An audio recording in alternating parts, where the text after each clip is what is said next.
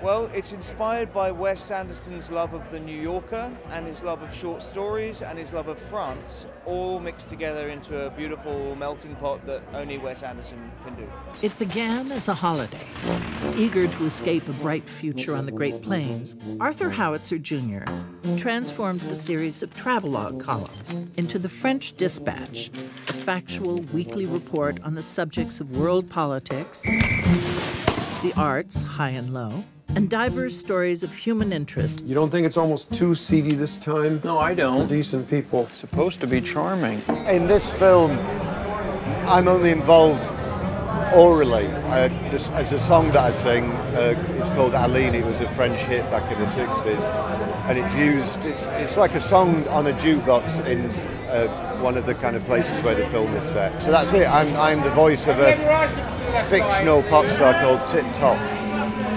Tip Top's and what? Wes Anderson asked me to be in it, and it was like uh, um, being anointed by the king or something. I mean, he's just, uh, I just adore him. I adore his work, and I adore working with him. He's amazing, a filmmaker, an amazing artist.